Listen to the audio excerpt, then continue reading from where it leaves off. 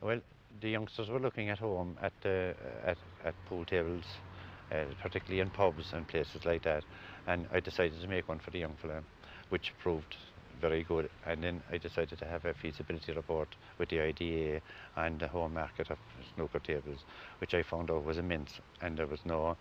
Uh, the, the importation into this country was something fierce altogether. Of them over 2,000 a year come in, with no home, with no one in the home market making them. So I decided to go into them myself. Have you actually sold any of these tables so far? Yes, at Christmas time we sold uh, what we made in them.